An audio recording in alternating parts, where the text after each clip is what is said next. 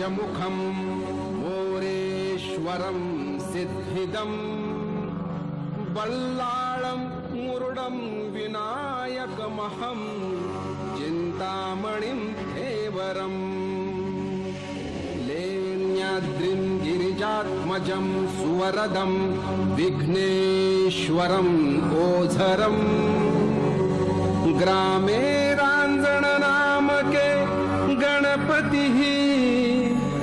Hallelujah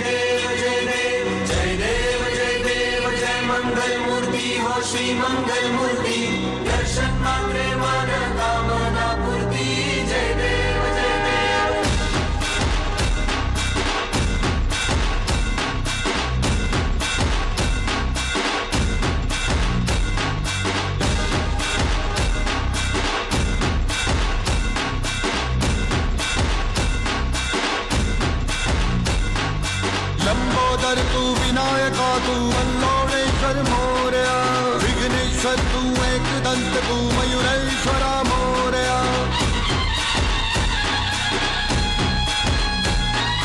Lambodar तू विनायका तू वल्लोळेश्वर मोरया विघ्नेश्वर तू एकदंत तू मयुरेश्वरा मोरया भक्ततुंड तू गजमुखा तू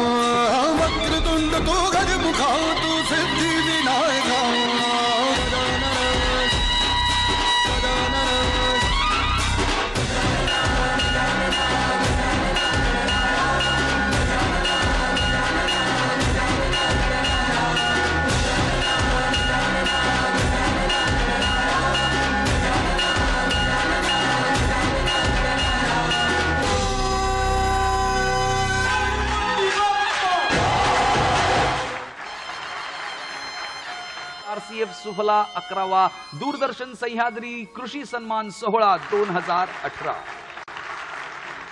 महाराष्ट्र राज्याचे माननीय राज्यपाल श्री चे विद्यासागर राव यांचं आगमन झालेलं आहे. मी दूरदर्शन सह्याद्री वाहिनीचे अपर महानिर्देशक Shri M S Thomas sir यांना विनंती करतो की त्यांनी माननीय राज्यपालांचा सत्कार करावा.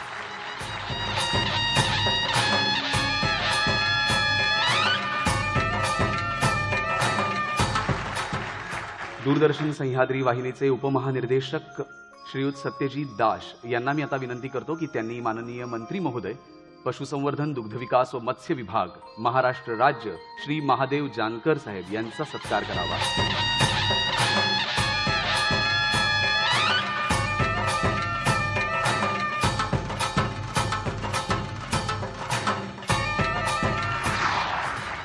असं म्हणतात की दिव्याच्या प्रकाशाने आत्मतेज बहरून येतं आणि या तेजाला वंदन करणं ही आपली भारतीय संस्कृती आहे. आणि म्हणूनच याच संस्कृतीचं पालन करत आपण आजच्या आपल्या या सोहळ्याला तेजाच्या साक्षीने सुरुवात करणार आहोत. रंगमंचावर दीप प्रज्वलन आपण इथे साकारणार आहोत. आणि ते करण्यासाठी मी व्यासपीठावरील मान्यवरांसोबत मंचावर काही अधिक मान्यवरांना आमंत्रित करणार आहे. श्रीयुत उमेश डोंगरे निर्देशक वित्त आर सी एफ लिमिटेड. श्रीयुत सत्यजित दाश उपमहासंचालक अभियांत्रिकी श्री सुबोध धाकवले कार्यकारी संचालक आयओसीएल पद्मश्री कैलाश खेर श्रीमती रोहिणीताई हट्टंगडी ज्येष्ठ अभिनेत्री. यानंतर मुंबई दूरदर्शन सह्याद्री वाहिनीचे अपर महानिर्देशक श्री एम एस थॉमस यांना मी विनंती करतो की त्यांनी स्वागतपर दोन शब्द बोलावे. आदरणीय राज्यपाल श्री विद्यासागर रावजी आदरणीय मंत्री महोदय श्री महादेव जानकर जी सभी कृषी सम्मान पुरस्कार विजेता वरिष्ठ कलाकार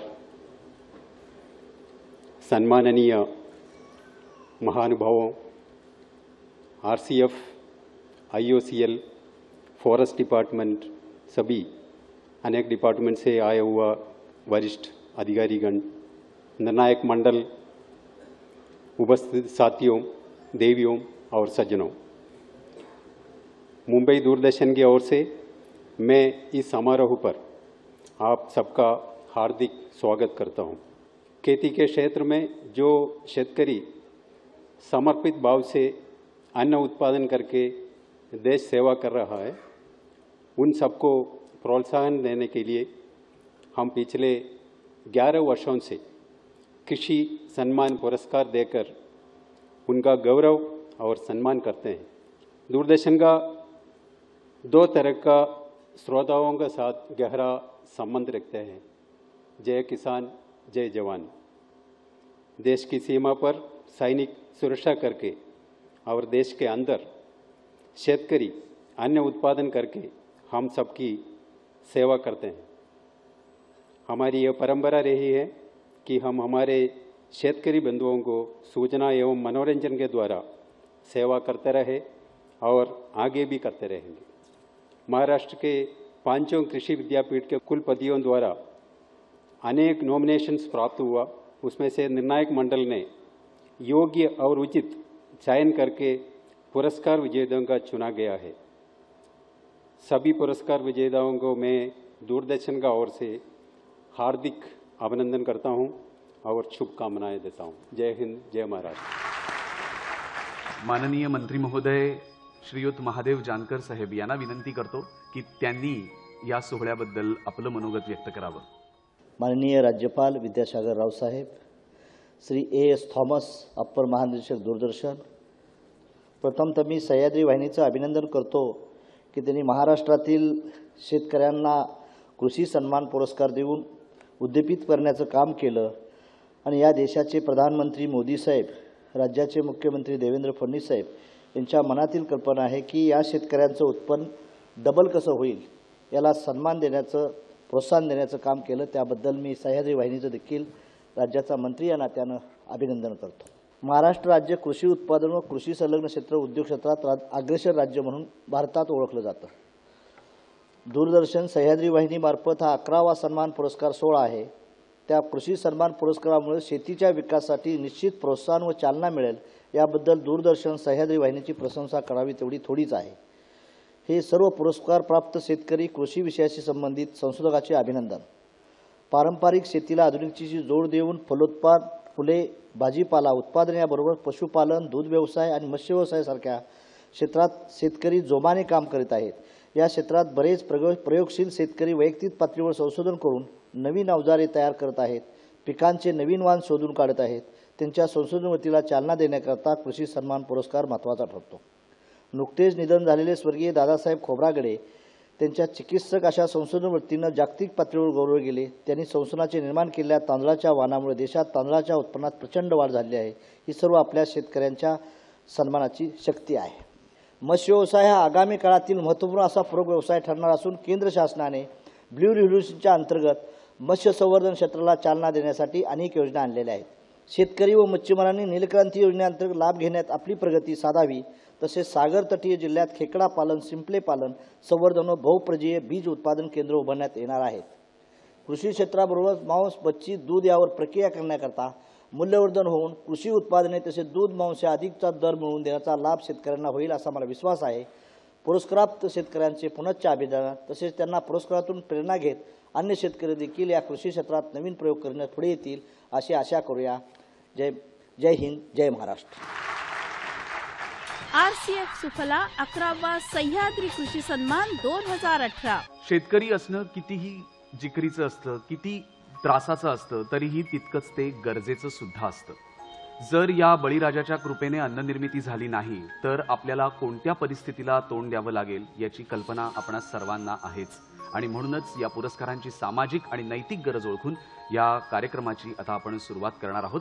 आर सी एफ आहे तुमच्या साथीला जाणून घ्या आपल्या मातीला जपा तुमच्या शेतीला. हे ब्रीदवाक्य असलेल्या आर सी एफ सुफलाच्या साथीने दूरदर्शन सह्याद्री वाहिनी या पुरस्कार सोहळ्याच्या अकराव्या वर्षात पदार्पण करत आहे. आतापर्यंत कित्येक अभिनव आणि कुशल शेतकरी बांधवांना या पुरस्काराने गौरवण्यात आलेलं आहे. पाहूया याच प्रवासाचा एक धावता आढावा. आर सी एफ सुफला प्रस्तुत अकरावा दूरदर्शन सह्याद्री कृषी सन्मान दोन हजार अठरा दोन ऑक्टोबर एकोणीसशे बहात्तर. मुंबई दूरदर्शनच्या एका लोकमाध्यमाच्या प्रसारणाचा आरंभ दिन.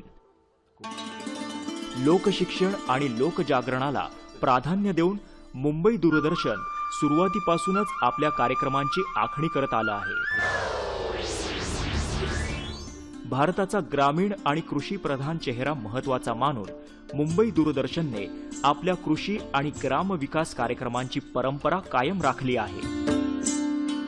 शेतकऱ्यांना केंद्रस्थानी मानून त्यांच्या प्रगती आणि विकासाला सहाय्यभूत ठरतील अशा भूसंधारण पीक पद्धती कृषी तंत्रज्ञान खत आणि कीड व्यवस्थापन जलसंधारण सिंचन पद्धती अशा कृषी संबंधीच्या विषयांवर दूरदर्शन मुंबई केंद्राने आजवर हजारो कार्यक्रम सादर केले आहेत. आमची माती आमची माणसं आणि कृषी दर्शन या दूरदर्शनच्या कृषीविषयक कार्यक्रमांना शेतकरी मित्रांनी प्रचंड प्रतिसाद दिला आहे. दोन हजार साली मुंबई दूरदर्शनची सह्याद्री वाहिनी सुरू झाली.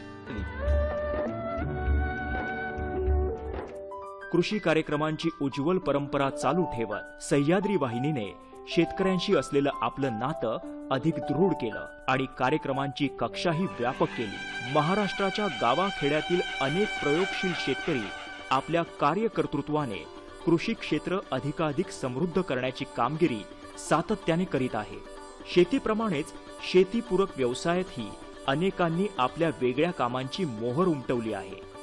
अशा कर्तृत्व संपन्न शेतकऱ्यांच्या यशोगाथा लाखो लोकांसमोर याव्यात यासाठी दहा वर्षांपूर्वी सह्याद्री वाहिनीने कृषी सन्मान पुरस्कार सोहळा सुरू केला. सह्याद्री वाहिनीच्या या कृषी सन्मान पुरस्काराला कृषी क्षेत्रात मोठी प्रतिष्ठा प्राप्त झाली आहे. तर सादर करत आहोत आपण सर्वजण ज्याची आतुरतेने वाट पाहत आहात तो कार्यक्रम आर सी एफ सुफला प्रस्तुत. अकरावा दूरदर्शन सह्याद्री कृषी सन्मान दोन हजार अठरा. पुरस्कार म्हटले की निकष आलेच. आणि या निकषाच्या चौकटीत बसवून अभ्यासपूर्ण आणि अचूक निवड ज्यांनी केली आहे त्या निवड समितीचा सत्कार करणं ही सुद्धा अगदी नैतिक जबाबदारीच आहे आणि अत्यंत आवश्यक सुद्धा आहे. आपण माननीय राज्यपालांच्या हस्ते आपल्या निवड समितीचा सत्कार करणार आहोत. या समितीमध्ये पुढील मान्यवरांचा समावेश होता. डॉक्टर ए टी शेरीकर माजी कुलगुरू महाराष्ट्र पशु व मत्स्य विज्ञान विद्यापीठ नागपूर. डॉक्टर सी डी माई माजी कुलगुरू वसंतराव नाईक मराठवाडा कृषी विद्यापीठ Parbhani. Doctor V K Mahorkar माजी संचालक विस्तार शिक्षण डॉक्टर पंजाबराव देशमुख कृषी विद्यापीठ अकोला. श्रीमती उज्ज्वला बाणखेले सहयोगी प्राध्यापक प्रशासकीय प्रशिक्षण संस्था Pune. Doctor A G Sawant माजी कुलगुरू डॉक्टर बाळासाहेब सावंत कोकण कृषी विद्यापीठ दापोली. मी माननीय राज्यपालांना विनंती करतो की त्यांनी स्मृतिचिन्ह देऊन निवड समितीचे जे प्रतिनिधी उपस्थित आहेत त्यांचा सत्कार करावा.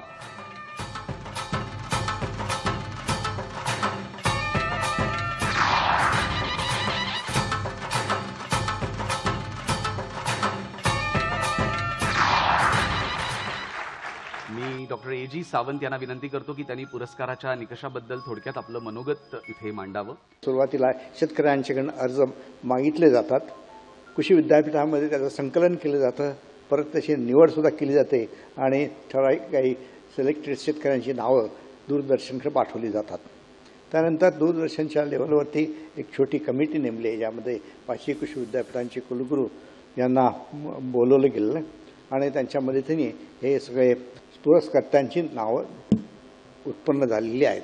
ह्यासाठी बरेचसे चांगले निकष लावण्यात आले जे खरे शेतकरी आहेत किंवा ज्यांनी स्वतःच्या शून्यात्मक पाईप पुढं निर्म- निर्माण केलं आहे आणि नुसतंच स्वतःची शे शेती करून प्रगती करण्यापेक्षा इतरांनाही बरोबर ना- नेण्याचा प्रयत्न केलेला आहे. अशा ह्या शेतकऱ्यांची निवड झालेली आहे. धन्यवाद.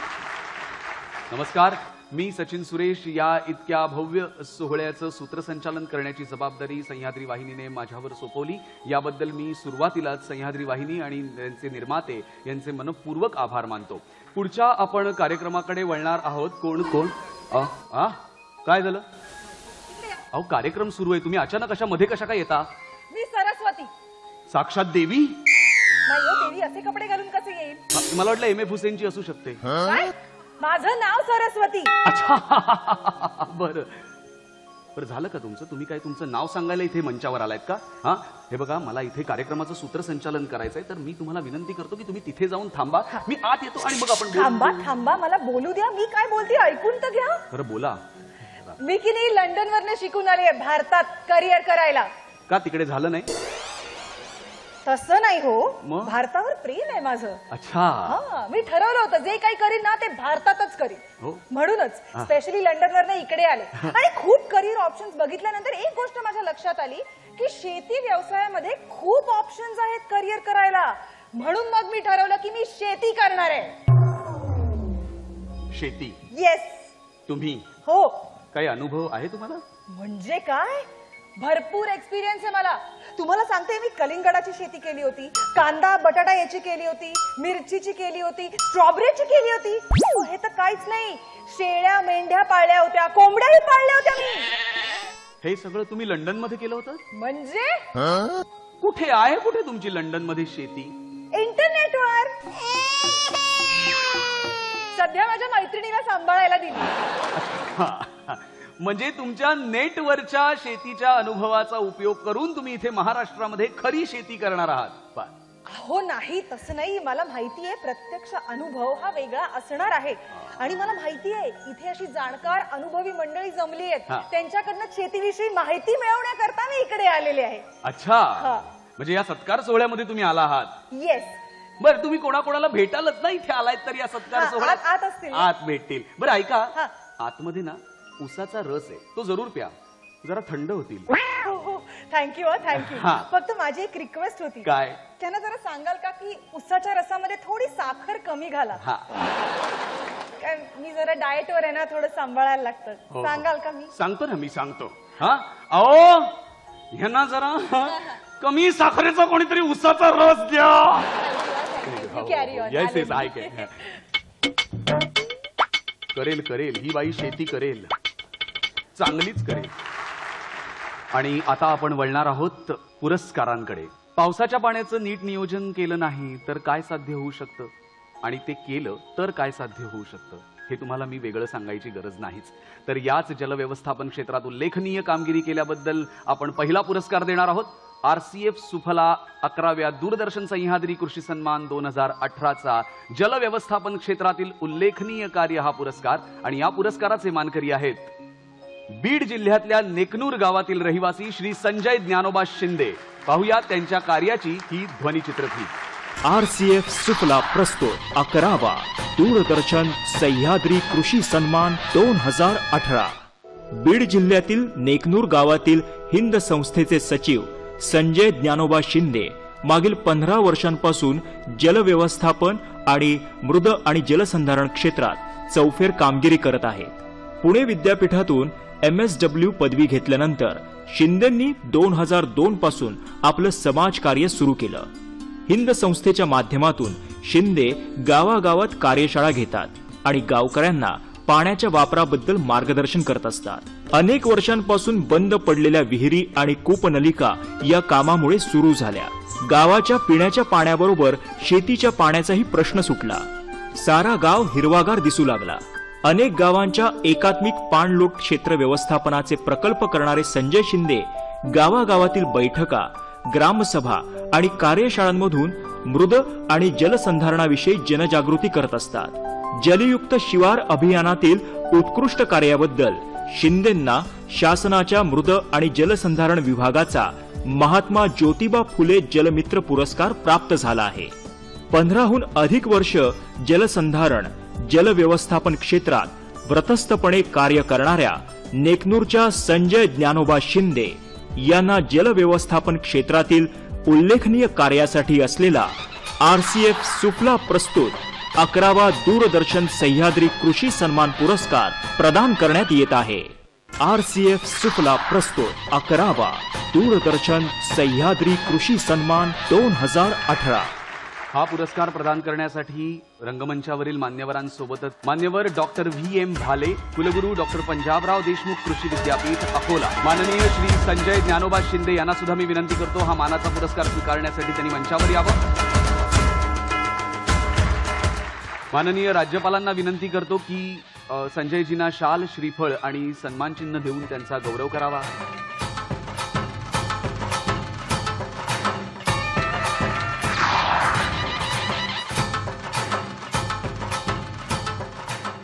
जानकर साहेबांना विनंती करतो की प्रशस्ती पत्रक देऊन त्यांचा सत्कार करावा.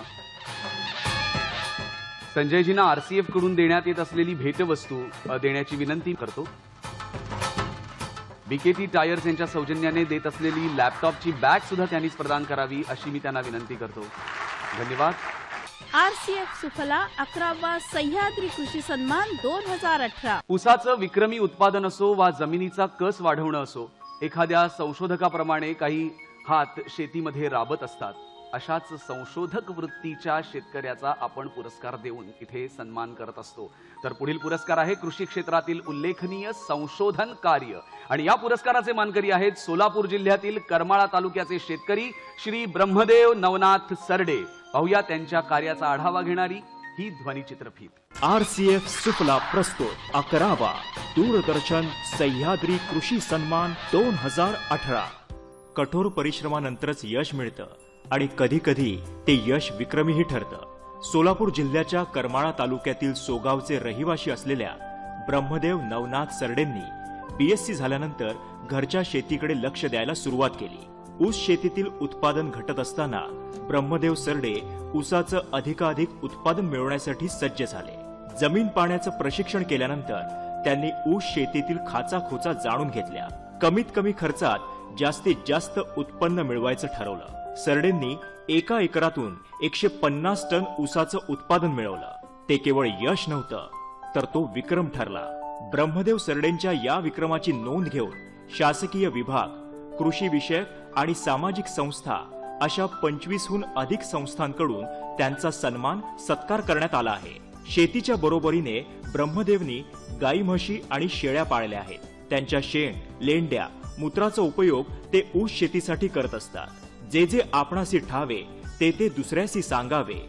या विचारातून सरडे दोनशे पन्नास व्हॉट्सअप ग्रुप्सच्या माध्यमातून चाळीस हजारापेक्षा अधिक शेतकऱ्यांना ऊस शेतीचं मार्गदर्शन करत असतात. सोलापूर सारख्या कमी पावसाच्या भागातील ब्रह्मदेव सरडेंनी विक्रमी ऊस उत्पादन घेतलं आहे आणि त्यासाठीच कृषी क्षेत्रातील उल्लेखनीय संशोधन कार्य घटक क्षेत्रासाठी असलेला R C F Suphala Doordarshan Sahyadri कृषी सन्मान पुरस्काराने त्यांना गौरवण्यात येत आहे. आर सी एफ सुफला प्रस्तुत अकरावा दूरदर्शन सह्याद्री कृषी सन्मान दोन हजार अठरा. हा पुरस्कार प्रदान करण्यासाठी रंगमंचावरील मान्यवरांसोबतच मी मान्यवर डॉक्टर अशोक ढवण कुलगुरू वसंतराव नाईक मराठवाडा कृषी विद्यापीठ परभणी. माननीय श्री ब्रह्मदेव नवनाथ सरडे यांना सुद्धा मी विनंती करतो की हा मानाचा पुरस्कार त्यांनी मंचावर स्वीकारावा. माननीय राज्यपाल यांना विनंती करतो की शाल श्रीफळ आणि सन्मानचिन्ह देऊन त्यांनी ब्रह्मदेवजींचं गौरव करावा.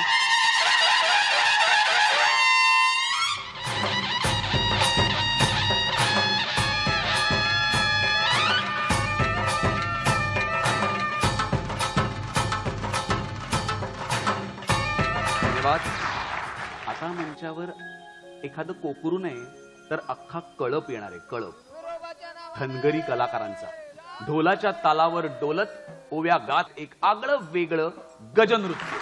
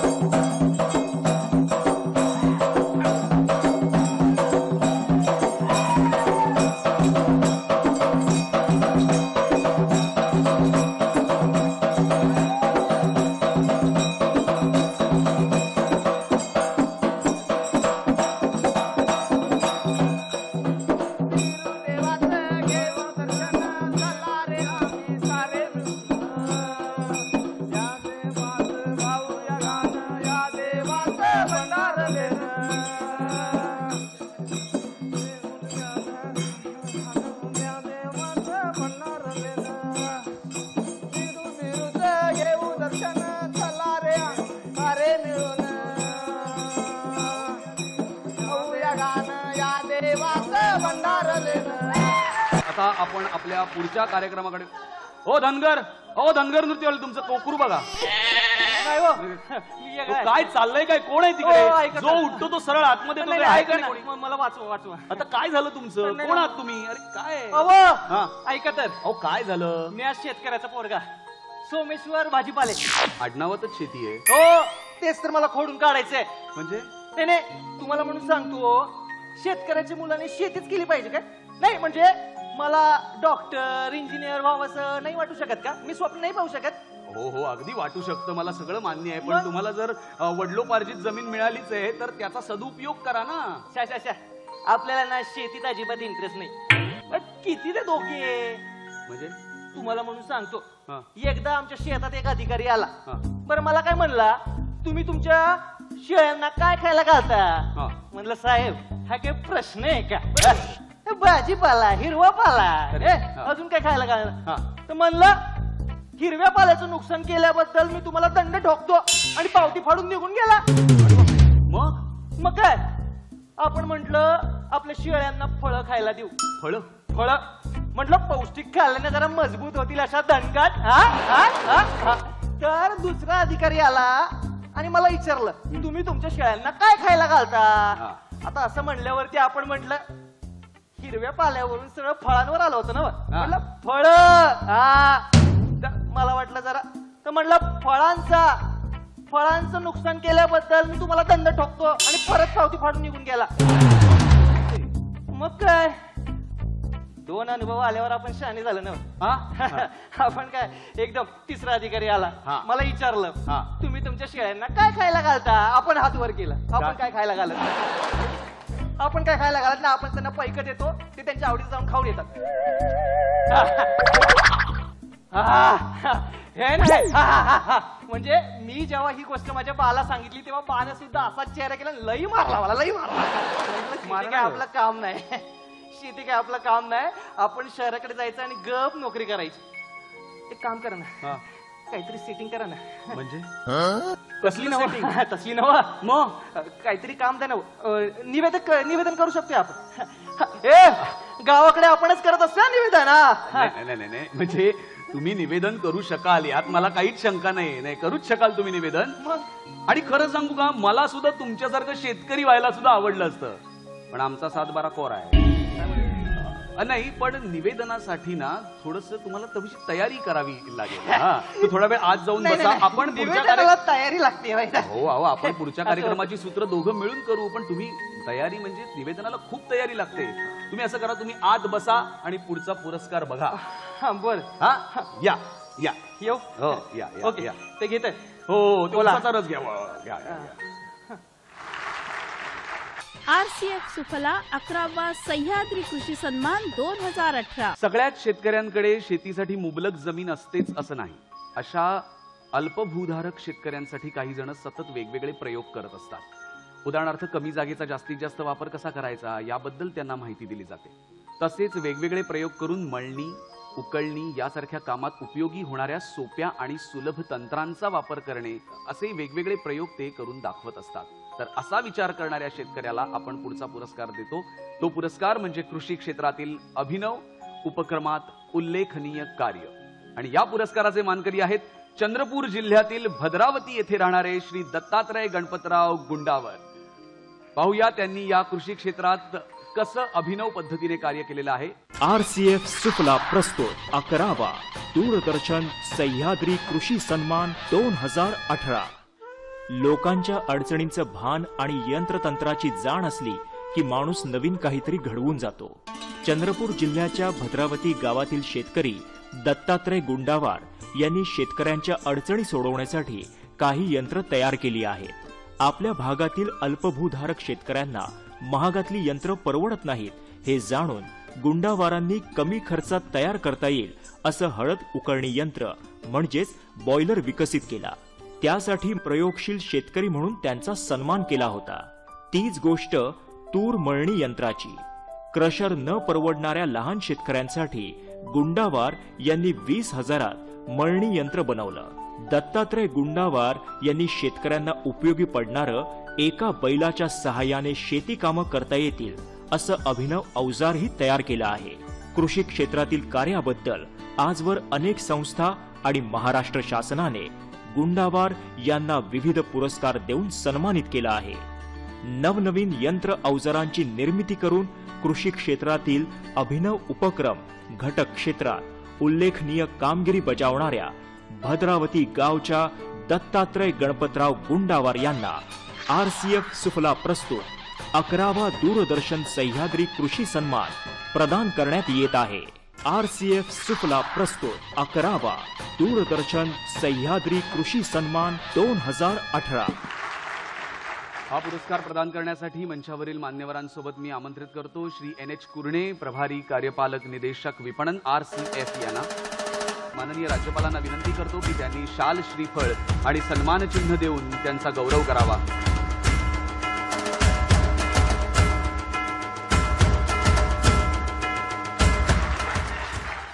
ग्रामीण भागातल्या शेतकऱ्यांसमोर खरं तर खूप मोठी आव्हानं असतात. अतिशय प्रतिकूल परिस्थितीला सामोरं जात ते शेतकरी आपला शेती व्यवसाय निभावून नेत असतात. त्यामुळे अशा शेतकऱ्यांचा सन्मान करणं आणि त्यांना प्रोत्साहन देणं हे आपलं परम कर्तव्य आहे. पुढचा पुरस्कार जातोय अशाच एका जिद्दी आणि कुशल शेतकऱ्याला. श्री ईश्वरदास धोंडीबाग घनघाव यांनी जालना जिल्ह्यातल्या मुक्काम डोंगरगाव पोस्ट सायगावमध्ये आपल्या कौशल्याचा वापर करत शेतीमध्ये उल्लेखनीय प्रयोग केला. तेव्हा त्यांना ग्रामीण कृषी प्रक्रिया उद्योगातील उल्लेखनीय कार्य या पुरस्काराने आपण सन्मानित करणार आहोत. पण त्याआधी पाहूया त्यांच्या कार्याची ओळख करून देणारी ही ध्वनिचित्रफीत आर सी एफ सुफला प्रस्तुत अकरावा दूरदर्शन सह्याद्री कृषी सन्मान दोन हजार अठरा. जालना जिल्ह्यातील बदनापूर जवळच्या डोंगर गावचे रहिवाशी असलेल्या ईश्वरदास धोंडीबा घनगाव यांनी घरची पाच एकर शेती असतानाही कृषी प्रक्रिया उद्योग सुरू करण्याचा निर्णय घेतला आणि कृषी विज्ञान केंद्राच्या तज्ज्ञ अधिकाऱ्यांकडून त्यासंबंधीची माहिती आणि मार्गदर्शन घेतलं. वीस वर्षांपूर्वी एकोणीसशे अठ्ठ्याण्णव साली जेमतेम एक हजार लोकसंख्या असलेल्या डोंगरगावच्या आपल्या राहत्या घरात ईश्वरदासनी केळ्याच्या चिप्स बनवायला सुरुवात केली. पुढे पुढे केळा चिप्सची मागणी वाढत गेली आणि घनगावने आपल्या उद्योगासाठी स्वतंत्र जागा घेऊन व्यवसायाचं यांत्रिकीकरण केलं. केळी सोलण्यासाठी आणि त्यांची कापं तयार करून ती तळण्यासाठी घनगावने स्थानिकांचीच नेमणूक केली आहे. ब्रँड नेम शिवाय आपल्या मालाची मागणी वाढणार नाही हे लक्षात येताच ईश्वरदासने आपल्या चिप्स उत्पादनाला गोकुळ हे नाव घेतलं आहे. व्यावसायिक यशासाठी त्यांना मिळालेल्या अनेक पुरस्कारात मराठवाडा भूषण सारख्या प्रतिष्ठेच्या पुरस्काराचाही समावेश आहे. केळी चिप्स बनवण्याचा उद्योग निवडून त्यात परिश्रमपूर्वक प्रगती साधणाऱ्या डोंगरगावच्या ईश्वरदास घनगाव यांना ग्रामीण कृषी प्रक्रिया उद्योगातील लक्षवेधी कामगिरीसाठी आर सी एफ सुफला प्रस्तुत अकरावा दूरदर्शन सह्याद्री कृषी सन्मान पुरस्कार प्रदान करण्यात येत आहे. आर सी एफ सुफला प्रस्तुत अकरावा दूरदर्शन सह्याद्री कृषी सन्मान दोन हजार अठरा. रंगमंचावरील मान्यवरांसोबत हा पुरस्कार प्रदान करण्यासाठी ज्येष्ठ अभिनेत्री रोहिणीताई हटंगडी यांना मी मंचावर येण्याची विनंती करतो. आणि ईश्वरदास धोंडीबा घनघाव यांना सुद्धा विनंती करतो की त्यांनी मंचावर यावं आणि आपला हा मानाचा पुरस्कार स्वीकारावा.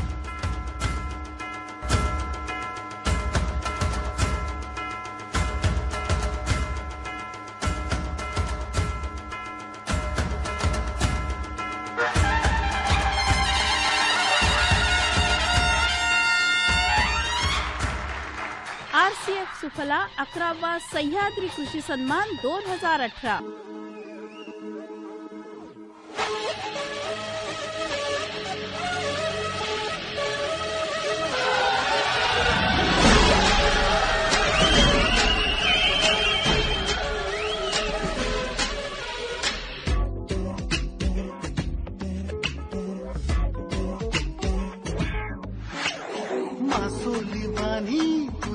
तुझी गजवानी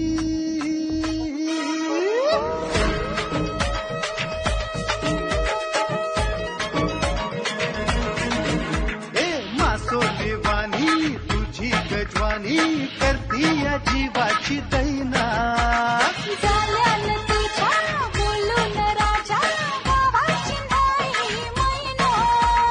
येरा पिसा सारा कोडी पराई मासोली झाल्यात येईना।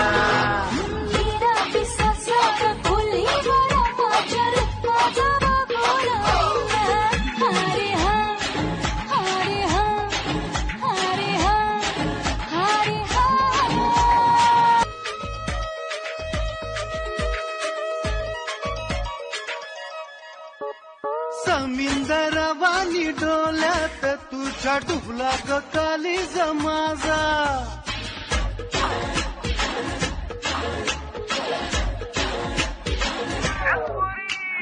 समिंदरवानी डोल्यात तुझ्या डुबला ग काली माझा.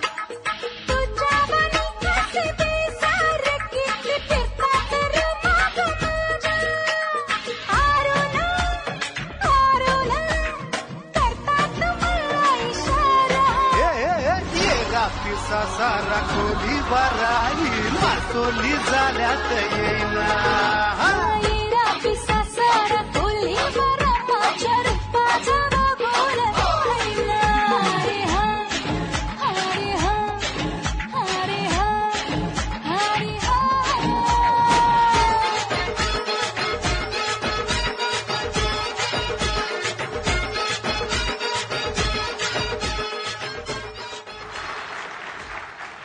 तर यानंतर पुढचा पुरस्कार म्हणजे मासे म्हटलं की इथल्या बऱ्याच जणांच्या तोंडाला पाणी सुटेल. पण या मास्यांकरता निव्वळ आपल्या तोंडाला पाणी सुटून काही उपयोग नाही.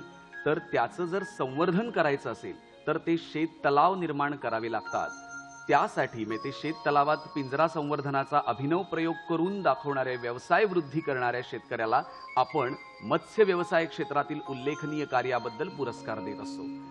तर या पुरस्काराचे मानकरी आहेत रायगड जिल्ह्यातील खांडपे गावातील मत्स्य शेतकरी श्री अशोक राजाराम गायकर. पाहूया त्यांच्या अभिनव कार्याची ही ध्वनिचित्रफीत आर सी एफ सुफला प्रस्तुत अकरावा.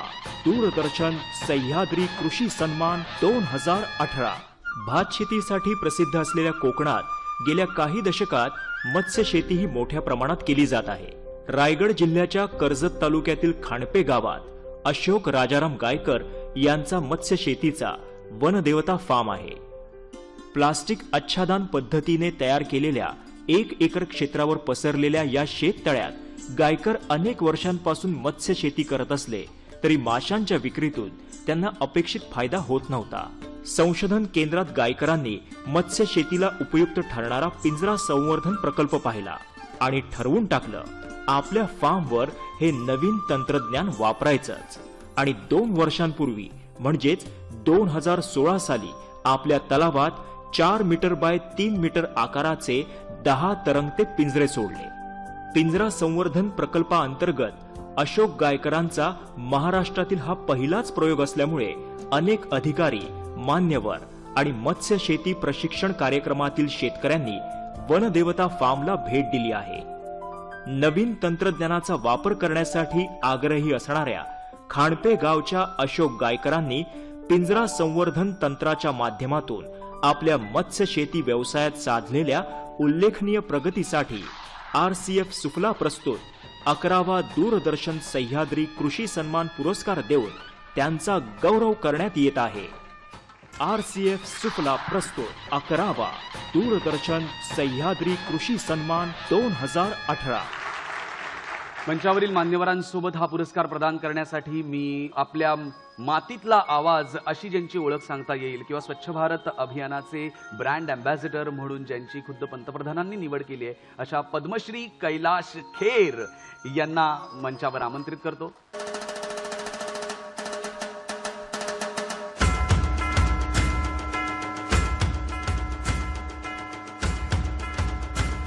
अशोक राजाराम गायकर जी यांना विनंती करतो की त्यांनी आपला मानाचा पुरस्कार स्वीकारावा.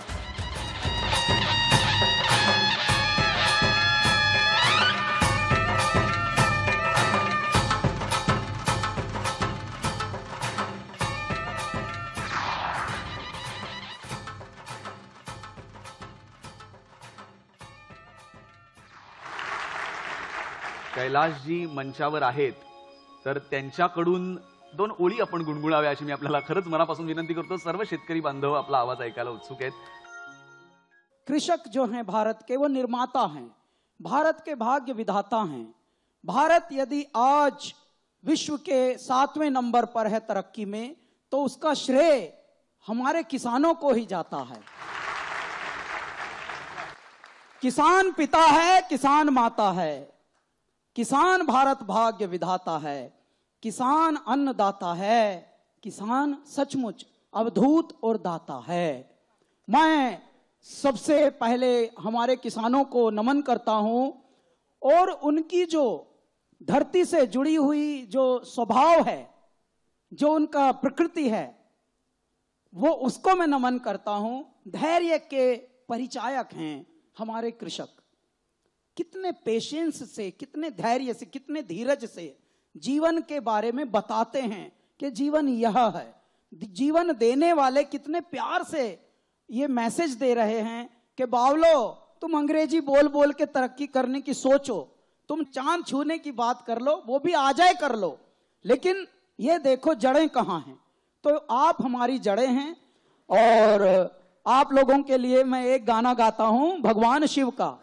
हाथ जोड़ के बोली गवर जाती नो लोक बसाए बस्ती में आप बसे वीराने में जी आप बसे वीराने में अजी राम भजो जी राम भजो जी राम भजो जी राम भजो जी शिव का वंदन किया करो अजी शिव का वंदन किया करो जी अगर बम बम बम बम बम बम बम बम बम लहरी अगर बम बम बम बम बम बम बम बम बम लहरी धन्यवाद Kailash ji thank you very much पुढचा पुरस्कार आहे कृषी आणि सामाजिक वनीकरण क्षेत्रातील उल्लेखनीय कार्य. आज महाराष्ट्राला असलेली वनीकरणाची गरज ओळखून सौ विद्या प्रल्हाद गुंजकर यांनी बुलढाणा जिल्ह्यातील मेहकर गावात रोपवाटिका लावून वेगवेगळ्या रोपांची निर्मिती केली आणि लोकांमध्ये त्याचं वाटप केलं. त्यांच्या या कार्याची गरज ओळखून त्यांचा या पुरस्कारासाठी विचार केला गेला आहे. पाहूया त्यांनी कशा पद्धतीने हे योगदान दिलं. आणि अर्थातच त्यासाठी पाहूया ही ध्वनी चित्रफीत. आर सी एफ सुफला प्रस्तुत अकरावा. दूरदर्शन सह्याद्री कृषी सन्मान दोन हजार अठरा.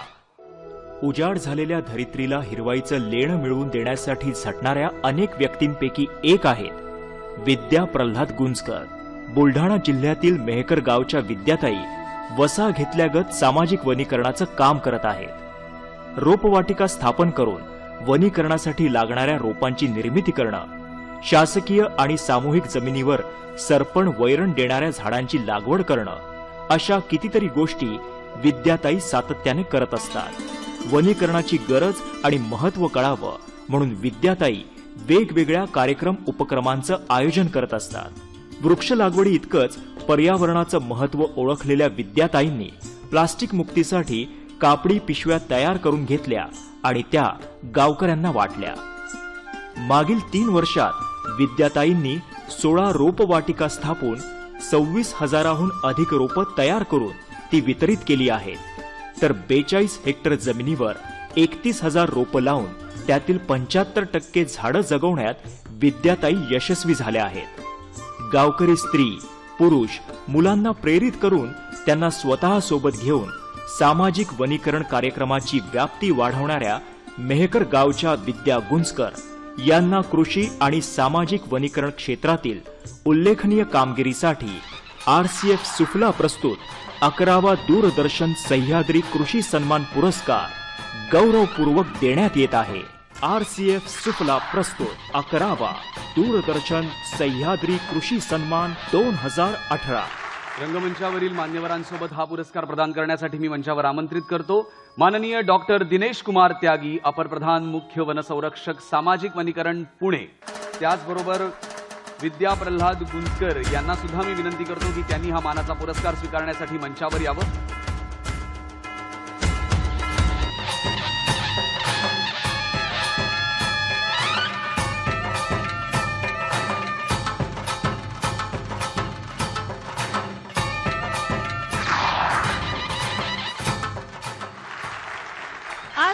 सुफला अकरावा सह्याद्री कृषी सन्मान दोन हजार अठरा.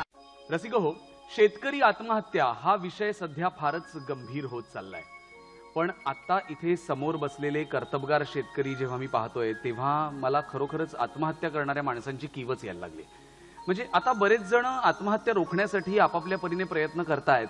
याच गहन गुंतागुंतीच्या प्रश्नावर आपलं पुढचं प्रहसन एका वेगळ्या दृष्टिकोनातून प्रकाश टाकतं. एका आत्महत्या केलेल्या शेतकऱ्याच्या बायकोने थेट ठोठावलंय स्वर्गाचं दार. बघूया आता ते उघडतं का बिघडतं. यम्मा यम्मा यम्मा यम्मा ये खूबसूरत समा. बस आज की रात है जिंदगी कल हम कहा तुम कहा? तुम्ही मला ओळखलेलं दिसत नाही ना तर छोटासा विनोद कळला असता तुम्हाला काय मी यम प्राण घेऊन सोडतो गप बरोबर आज माझ्या बरोबर रेडा नाही ना म्हणून तुम्ही मला ओळखलं नसेल ओ, ओ, ओ, ओ, बाई ओ वा, काय करताय हा स्वर्ग लोक आहे तुम्ही थेट स्वर्गात प- प- प- प्रवेश कसा घेतला? परवानगी न घेता? हा. मी स्वर्गात आले. मग? म्हणजे माझी प्रार्थना फळाला आली. प्रार्थना? होय तर. अहो तुम्ही माझ्या पतीचे प्राण वर आणले. मला माझ्या कुटुंबाला निराधार करून माझ्या चिंगीच्या बाबांना वर घेऊन आलात म्हणजे काय? हा? मग मी प्रार्थना केली. हा. देव प्रसन्न झाले. मला म्हणले बाई तुम्ही निष्पाप आहात. तुमच्या त्या प्रार्थनेमध्ये लई शक्ती आहे. बरं. मग तुम्ही तुमच्या पतीचे प्राण घेऊन जा परत. होय तर. देवानच मला इथं आणलं. जिवंत? का? मी तुम्हाला चेहऱ्यावरून मेलेली वाटले. नाही तसं नाही. काय हा- हा यमलोक आहे. आणि काय इथे फक्त मेलेल्या माणसांसाठी दार उघडलं जातं. हो. वा, तुम्ही कोण? मी यम काय झालं? अहो, काय झालं? हे असं?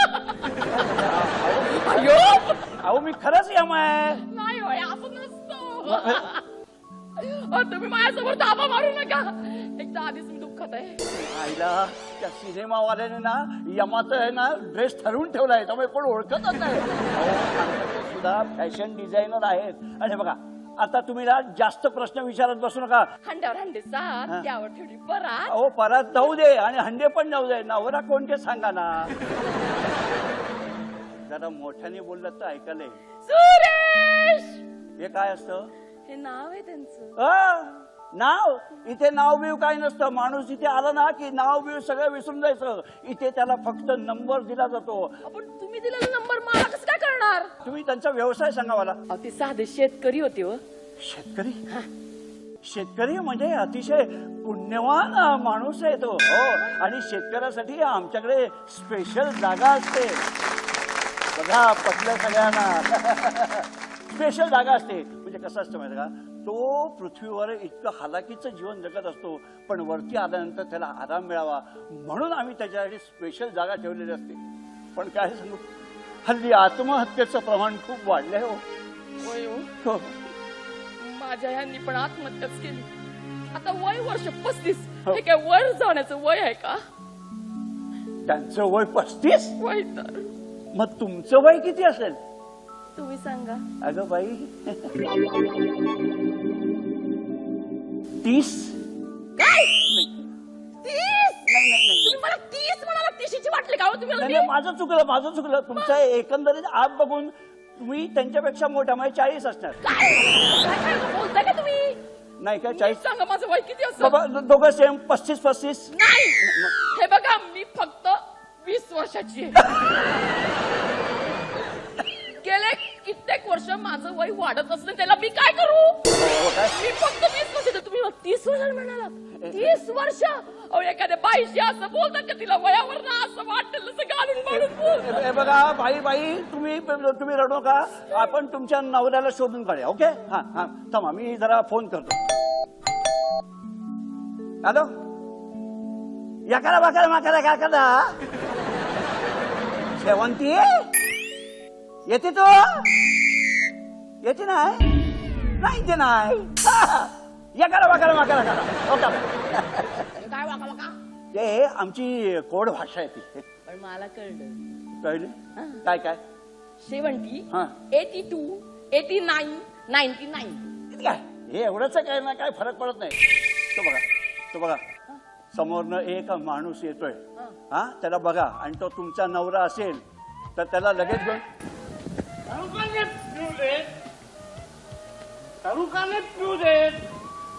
त्यांचे डोळे तुम्हाला दिसतात का हो? जरा डोळे उघडा आणि बघा तुम्हाला न्यायला कोण आलाय. नाव घेऊ नका त्या महामायेचं. ती कसली सावित्री? कसली सावित्री? वटवट सावित्री. बापरे. तिच्या वटवटीमुळे तर उठायला लागलो. अरे. मोहाची जांभळाची काजूची? ए, काजूची पिण्यापेक्षा काजूची शेती केली असतीस ना तर तुझ्यावर ही वेळ आली नसती. हा, जा तुझी बायको तुला न्यायला आले जा तिच्याबरोबर जा जा. या वहिनी सोबत जायला. हो हो, हो, हो. जा जा.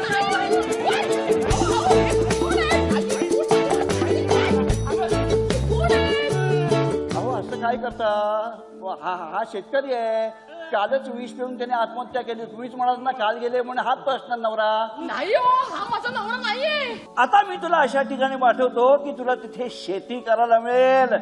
तुझं स्वप्न पूर्ण होईल. दारूची शेती करी जा तिथे पण. बाबा दारूची नाही चांगली शेती कर. जा असं सरळ जा. सरळ सरळ सरळ सरळ सरळ ए सरळ इकडे. ये. नाही तो वाकडाच जाणार. हा, हॅलो. हा एक या करा मा करा करा करा हा या यानं वागला करा. शेवण येतो मग? अजा येतो? हा हा ओके. हो येतो मा करा करा हो. काही? हा बघा. हा हा हा माणूस बघा. याला बघून ठेवा हा आहे ना चिंतेत आहे. सारखा चिंतेत असतो. त्याला आवडती वस्तू मिळाली नाही म्हणून. आणि सारखा त्रस्त असल्यासारखा फिरत असतो? हा तुमचा नवरा आहे का बघा? हॅलो. नमस्कार. हो, नमस्कार. अहो कसला नमस्कारण काय? इथं शेतकऱ्यांची काय परवडत चालली आहे? अहो सरकार तुरीला हमी भाव देणार म्हणून मी तूर लावली. पण सरकारनं आमच्या हातावर तुरी ठेवल्या हो. अहो ऊसाला भाव मिळेल म्हणून ऊस लावला. अहो पण लाखो मेट्रिक टन साखर आयात करून आमच्या पोटावर पाय आणलं हो. शेवटी भाजीपाला केला. कांदा लावला. पण कांद्याचा भाव एवढा पडला की आमच्या डोळ्यात फक्त आसवच राहिली हो. एक विनंती. तुम्ही आता पृथ्वीवर जाणार ना तर माझ्या बायकोला भेटा. माझ्या पोरासनी भेटा. आणि त्यांना म्हणावं मी परत येणार. नक्की येणार. आणि या वेळेला काळ्या आईच्या पदरात पिकाचं दान पाडल्याशिवाय हिंमत आणणार नाही. हा, आणि यावेळेस मी तुमच्या मदतीला असेन. हा? या बाईचा नवरा. काय शोध- तुमचा नवरा कसा शोधायचा मला सांगा? त्याचा चेहरा तरी आठवतोय का? वा. काय? तो नंबर का काय तर तुम्ही दिलाय ना? बरोबर बरोबर. नाही नाही नाही. म्हणजे काय माहिती का त्यांना तिचं नाव नसेल विसरला हा? हा? होय की नाही नाही. अहो मी ना त्यांना असा आवाज देते की नाही हा. स्वर्गात काय पाहतात असं तरी धावत बाहेर येतील काय सांगता का बघायचंय? द्या आवाज द्या आवाज चिंगीचे बाबा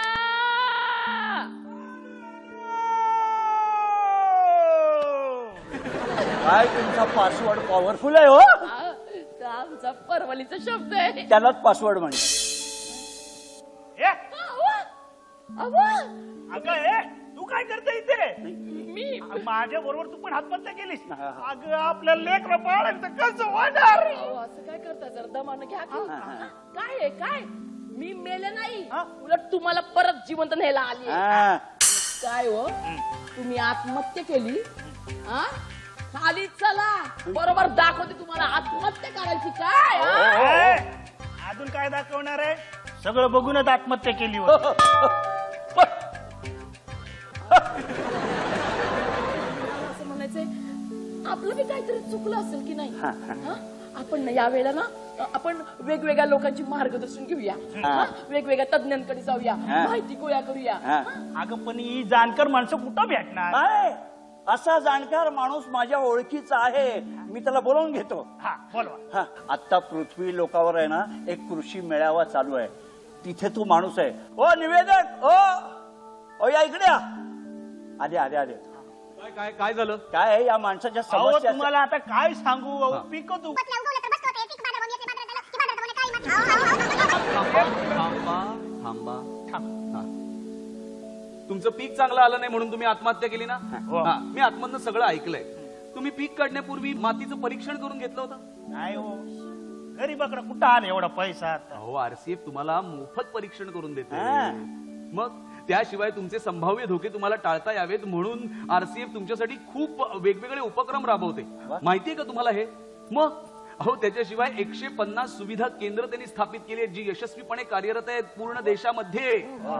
त्याशिवाय शेतकरी केअर टोल फ्री क्रमांक आहे. त्याच्याशिवाय आरसीएफ ची एक शेती पत्रिका काढण्यात येते. मग आणि त्या योगे अनेक शेतकऱ्यांना जोडण्यात येतं. होय तर अहो, आपण आता ना हिमतीनं नव्या जोमानं आयुष्याला सुरुवात करूया. हा. हे बघा तुम्ही ना त्या शेतामध्ये अशी कसाना जमीन की आपल्या शेतामध्ये ना पीक आलं पाहिजे. आलंच पीक पाहिजे. त्यातलं सोनंच आलं पाहिजे. आलंच आणि पाहिजे. मग मला तुम्ही सोनं करून हा, द्यायचं. हो, थांबा, हो, थांबा. ठीक आहे, असं काढायचं. हो, थांबा, हो, तुमची सही घ्यायची राहिली थांबा हो. काय प्रोसिजर वगैरे काय आहे की नाही? म्हणजे आमच्या त्या काळात सावित्रीने मला विचारून नवऱ्याला नेलं होतं. पण ही आजची सावित्री डायरेक्ट नवऱ्याला घेऊन गेली हो. असो एक जागा कमी झाली. तुम्ही येताय वरती? ए हो यम्मा यम्मा यम्मा यम्मा. आर सी एफ सुफला अकरावा सह्याद्री कृषी सन्मान दोन हजार अठरा. पुढील पुरस्कार आहे फळे फुलशेती व भाजीपाला क्षेत्रातील उल्लेखनीय कार्य. या क्षेत्रात कार्य करणाऱ्या दोघांना या पुरस्काराने आपण इथे सन्मानित करणार आहोत. त्यापैकी पहिले मानकरी आहेत नाशिक जिल्ह्यातील खडक माळेगावचे श्री शरद संपतराव शिंदे.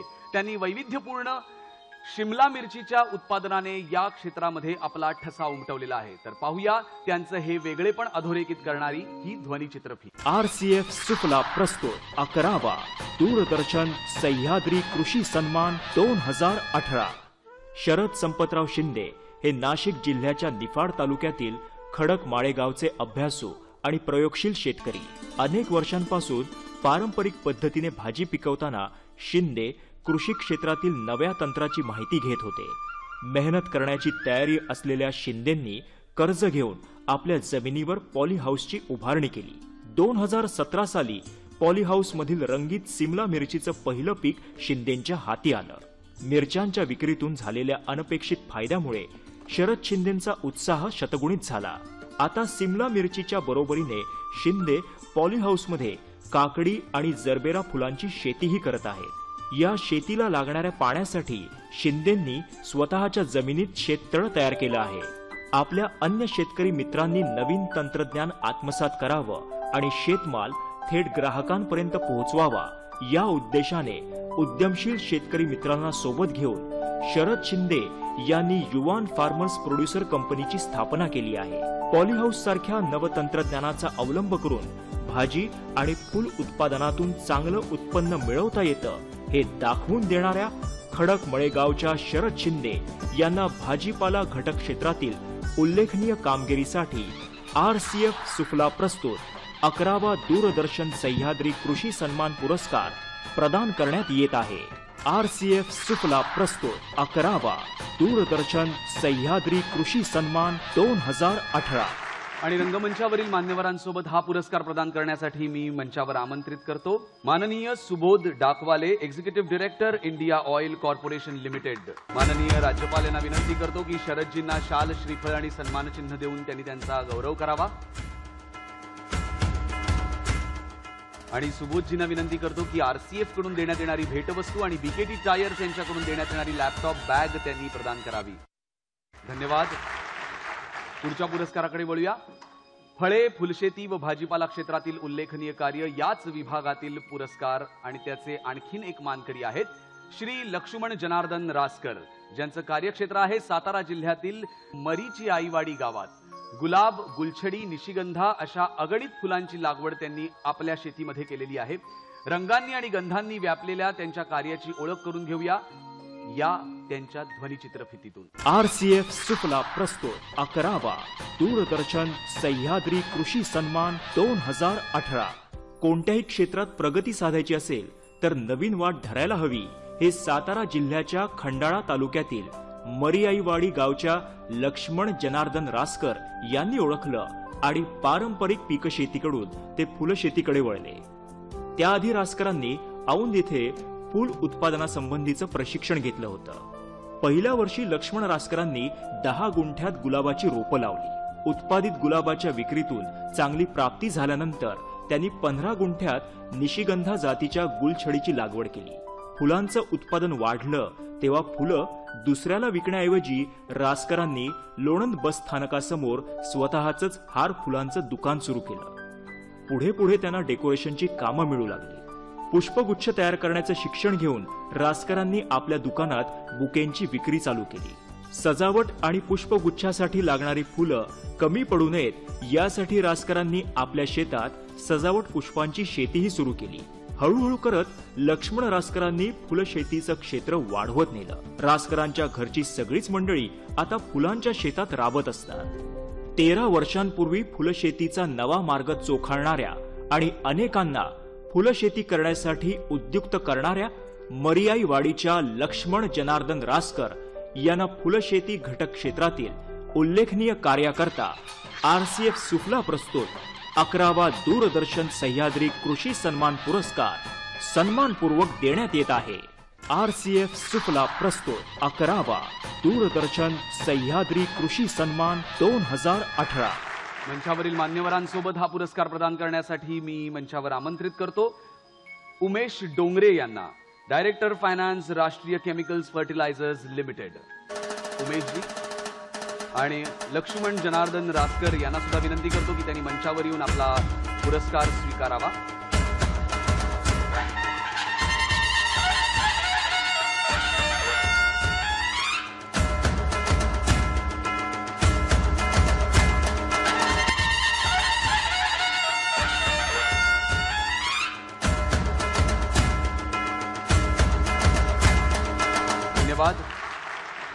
संगीताला जर भाषेचं बंधन नसेल तर नृत्याला तरी ते का असावं? नाही का? पण हा दणका मात्र आपल्याला बसला पाहिजे. अशाच धडागेपाच गाण्यांवर आपण आता जोशपूर्ण डान्स पाहणार आहोत. मोहराच्या दारावर कैर्या मागना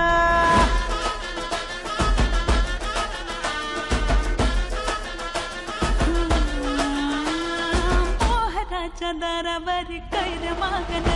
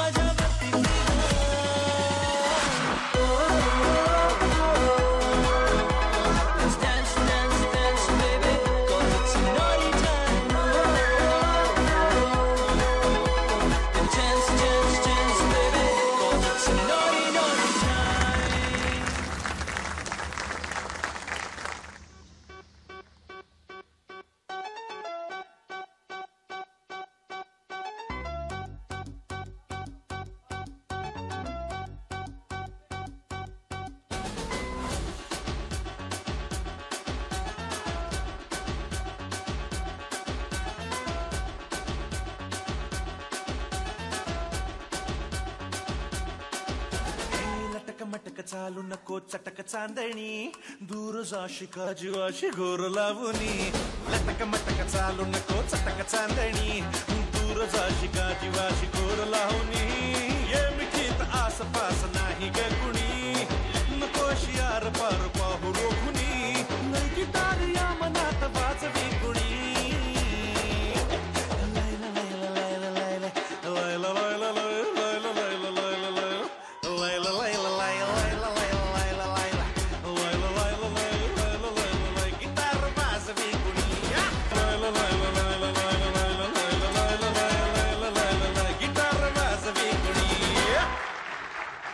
पुढचा पुरस्कार आहे पशुसंवर्धन व दुग्ध व्यवसाय क्षेत्रातील उल्लेखनीय कार्य.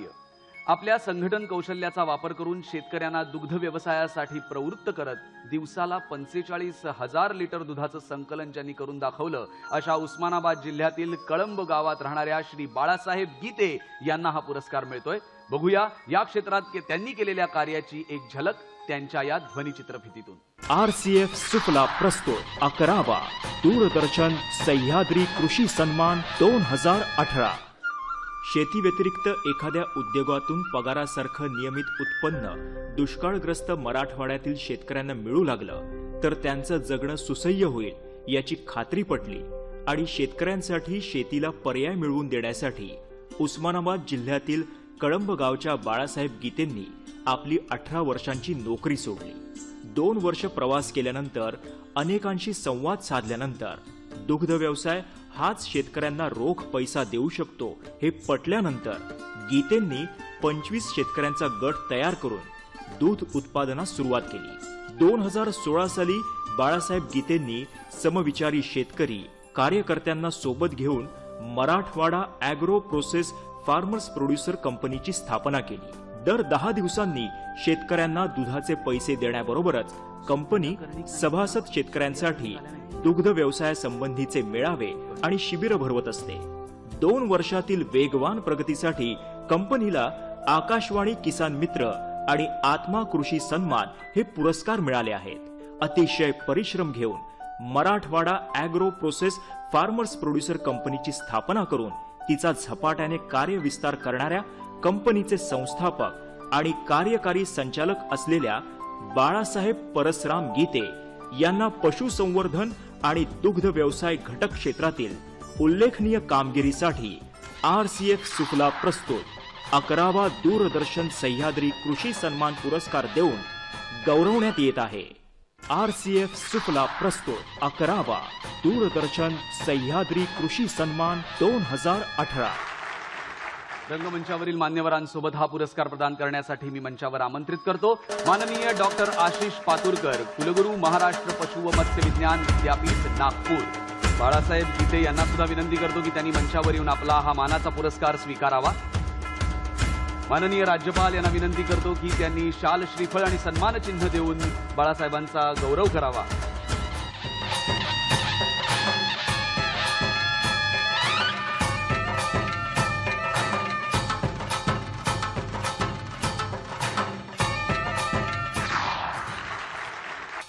एफ सुफला अकरावा सह्याद्री कृषी सन्मान दोन हजार अठरा. पुढचा पुरस्कार आहे कृषी पूरक उद्योग क्षेत्रातील उल्लेखनीय कार्य.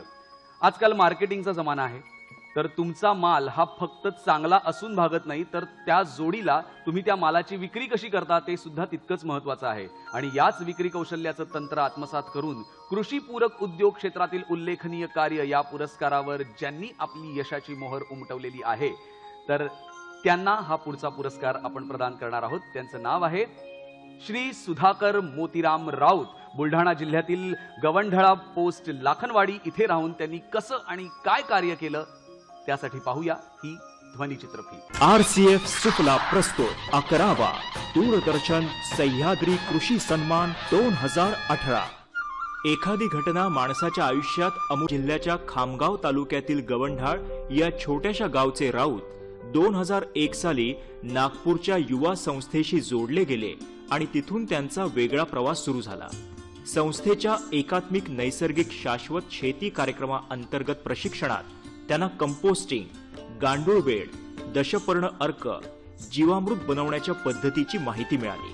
प्रशिक्षण पूर्ततेनंतर राऊतांनी आपल्या शेतीत संपूर्णपणे सेंद्रिय पद्धतीचा अवलंब सुरू केला. पुढच्याच वर्षी दोन हजार दोन साली सुधाकर राऊतांची शेती प्रचारक म्हणून निवड होऊन त्यांच्यावर खामगाव शेगाव तालुक्यांची जबाबदारी देण्यात आली. त्यांनी सेंद्रिय शेती करणारे शेतकरी आणि शेतकऱ्यांचे गट तयार केले. सुधाकर राऊत यांनी वनस्पती जडीबुटी देशी गायीच्या गोमूत्र अर्कापासून पीक संरक्षक आणि पीक पोषक असं उत्कर्ष तयार केलं. सेंद्रिय शेतीच्या प्रचारातील योगदान लक्षात घेऊन चेन्नईच्या doctor M S Swaminathan foundation आणि जमशेदजी टाटा अकादमीने सुधाकर राऊतांना फेलोशिप दिली आहे. तसंच सुमिंतर ऑर्गॅनिक्स इंडिया कंपनीने पुरस्कार देऊन राऊतांना गौरवलं आहे. सेंद्रिय शेती संबंधी करत असलेल्या सातत्यपूर्ण कामांसाठी गवंढाळ गावच्या सुधाकर राऊत यांना कृषीपूरक उद्योग क्षेत्रातील उल्लेखनीय कार्यासाठी असलेला आर सी एफ सुफला प्रस्तुत. अकरावा दूरदर्शन सह्याद्री कृषी सन्मान पुरस्कार प्रदान करून सन्मानित करण्यात येत आहे. आर सी एफ सुफला प्रस्तुत. अकरावा दूरदर्शन सह्याद्री कृषी सन्मान दोन हजार अठरा. रंगमंचावरील मान्यवरांसोबत हा पुरस्कार प्रदान करण्यासाठी मी मंचावर आमंत्रित करतो. माननीय आणि सुप्रसिद्ध ऍड मेकर भरत दाभोळकरजी यांना. सुधाकर मोतीराम राऊत यांना सुद्धा विनंती करतो की त्यांनी आपला हा मानाचा पुरस्कार मंचावर स्वीकारावा.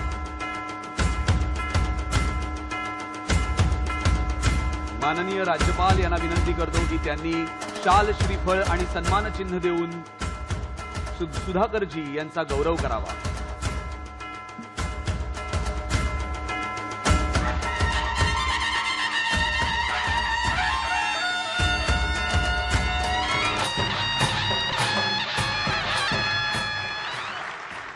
आणि यानंतर आता आपल्यासमोर पुढचं सादरीकरण सादर होणार आहे.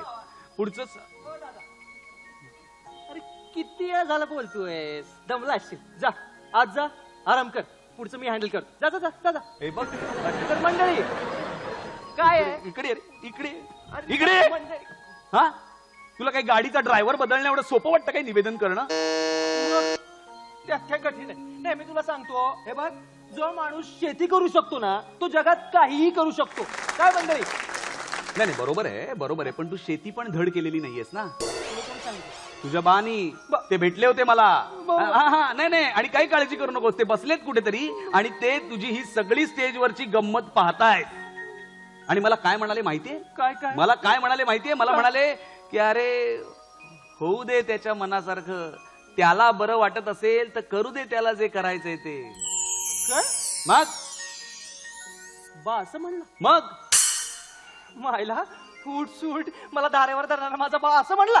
हो हे बघ. आई आलं. ओ ऐका. ओ सारखं मी तुम्हाला निवेदकच म्हणते. तुमचं नाव काय आहे? सचिन सुरेश.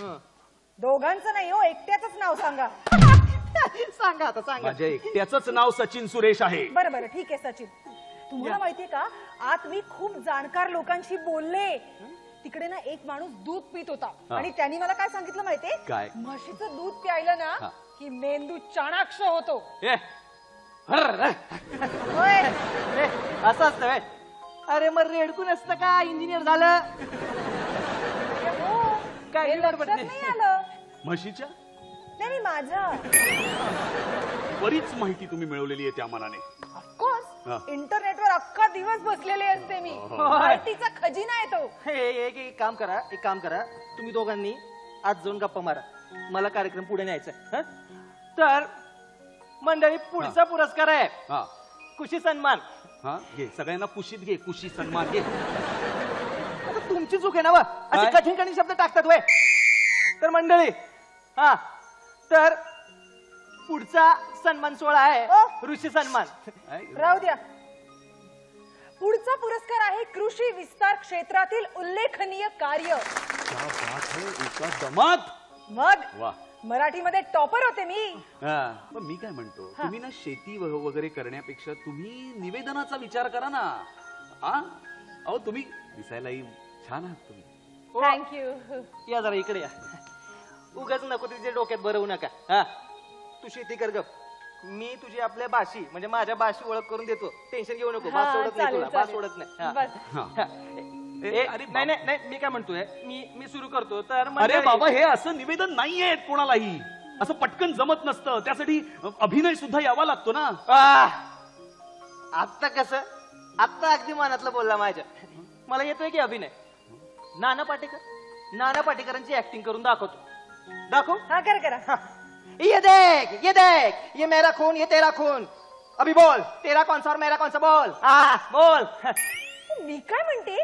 ह्यापेक्षा नानांना विचारून मातीचा कस शोधून काढला तर? ते तर एकदम अचूक सांगतील. सुपीक माती कुठली नापीक माती कुठली? आणि मग म्हणतील "ही, ये देख ये देख ये सुपीक माती ये नापीक माती. ए रक्ताळे तिला नुसती मातीच खेळायला जमतीय मकरंद अनसपुरे वाटलं की नाही? हो, हो हो. आजारी असताना मकरंचा आवाज असाच येतो. काय नक्कल करतोयस वेगवेगळ्या क- कलाकारांची? त्याच्यापेक्षा स्वतः मधला एक चांगला कलाकार शोध. शोध. आणि मी माझ्या आयुष्यात अशा माणसाला शोधते जो माझ्या आयुष्यात हिरवळ घेऊन येईल. माझ्या मोहरलेल्या मनाची मशागत करेल. आहाहाहा. मोठेचं पाणी हळूच अंगावर शिंपडून माझी काया रोमांचित करेल. आहा. हे काम एक शेतकरीच करू शकतो. खरंय. आणि हे बघ आणि तू बाबा तुझ्यामध्ये ना एक मातीची आस आहे. तेव्हा तू खरोखरच जर शेती केलीस ना तर तू त्या मातीमधनं सोनं पिकवशील सोनं. तेव्हा तू तुझ्या वडिलांचं ऐक. असं म्हणताय? हा ठीक आहे. हं? धन्यवाद. नाही नाही. आ? आलो. बाकडे जाऊन आलो. ये ये. अ, मी काय म्हणते मी. थांबू की जाऊ काय करू? अगं असं काय करतेस? ये तू सुद्धा तुझ्यातल्या कवयित्रीला वाट करून दे. कर तू सुद्धा निवेदन. प्रयत्न करते. हा. काळ्या आईला हिरव्या शालूने सजवणाऱ्या या हातात जादू दडलीये. आणि अशाच जादूगारांचा सन्मान आणि सत्कार आपण इथे करतो आहोत. त्या बात आहे चल आपण दोघं मिळून निवेदन करूया. नाही हो नको. मला निवेदन करायची खरंच इच्छा नाही. मला शेतीच करायचंय माझं पक्क ठरलंय. हो? तुम्हाला काय वाटतं? मला कळत नाहीये तुम्ही माझी खिल्ली उडवता येते अरे नाही नाही. उडवा उडवा बिंदास खिल्ली उडवा. पण माझा निश्चय ठाम आहे. मला शेतीच करायची आहे कारण ते माझं स्वप्न आहे. तेव्हा तुम्ही तुमचा कार्यक्रम असाच पुढे चालू ठेवा. मी आत अजून काही जाणकारांशी जाऊन बोलते आणि आणखीन माहिती मिळवते.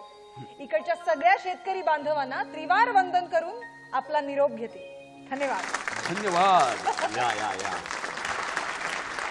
शेती व्यवसायात जर तुम्हाला तग धरून राहायचं असेल तर नानाविध प्रयोग करून पाहणं हे खूपच गरजेचं आहे.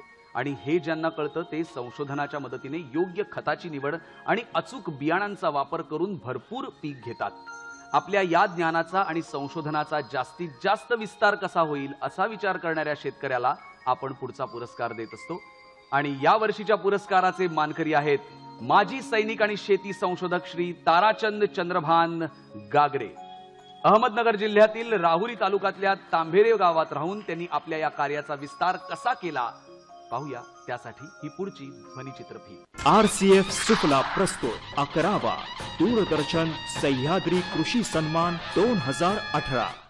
सैन्य दलातून निवृत्त झाल्यानंतर नगर जिल्ह्याच्या राहुरी तालुक्यातील तांभोरे गावचे ताराचंद चंद्रभान गागरे वेगळी उमेद बाळगूनच गावात परतले. आपल्या वडिलोपार्जित शेतात काम करताना गावाच्या विकासाकडेही लक्ष द्यायचं असं त्यांनी ठरवलं होतं. नवीन तंत्रज्ञान आत्मसात करून शेती उत्पन्न वाढवण्याची त्यांची मानसिकता होती. पारंपरिक पद्धतीपेक्षा नवीन तंत्राने शेती करण्याकडे गागरेंचा कल होता. दोन हजार पाच साली महात्मा फुले कृषी विद्यापीठाने तांभोरे गावात शेतकरी शास्त्रज्ञ मंच स्थापन करून गागरे यांच्यावर अध्यक्षपदाची जबाबदारी सोपवली. गागरे आणि त्यांच्या सहकारी शेतकऱ्यांनी हरभऱ्याचं उत्तम वाण निर्माण करण्यासाठी गावात ग्राम बीजोत्पादन कार्यक्रम राबवण्याचं ठरवलं. कृषी विद्यापीठाच्या बियाणे विभागाच्या तज्ज्ञांच्या मार्गदर्शनाखाली ताराचंद गागरे यांनी दोन हजार सात ते दोन हजार बारा या कालावधीत बीजोत्पादनाचा कार्यक्रम जिद्दीने राबवून यशस्वी केला. त्यांनी विकसित केलेलं हरभऱ्याचं नवीन वाण कृषी विद्यापीठाच्या चाचण्यांच्या कसोटीला उतरलं. तांभोरे गावात ग्राम बीजोत्पादन कार्यक्रम यशस्वी करण्यात मोलाची भूमिका निभावून कृषी विस्तार क्षेत्रात उल्लेखनीय कार्य करणाऱ्या माजी सैनिक ताराचंद चंद्रभान गागरे यांना आर सी एफ सुफला प्रस्तुत अकरावा दूरदर्शन सह्याद्री कृषी सन्मान पुरस्कार देऊन गौरवण्यात येत आहे. आर सी एफ सुफला प्रस्तुत अकरावा दूरदर्शन सह्याद्री कृषी सन्मान दोन हजार अठरा. रंगमंचावरील मान्यवरांसोबत हा पुरस्कार प्रदान करण्यासाठी मी दोन अधिक मान्यवरांना मंचावर आमंत्रित करतोय. सुप्रसिद्ध अभिनेते अशोक शिंदे आणि सुप्रसिद्ध अभिनेते भारत गणेशपुरे. मी दोघांनाही विनंती करतो की त्यांनी मंचावर यावं. त्याचबरोबर पुरस्कार विजेते ताराचंद चंद्रपान गांगरे यांना सुद्धा विनंती करतो की त्यांनीही मंचावर येऊन आपला हा पुरस्कार स्वीकारावा.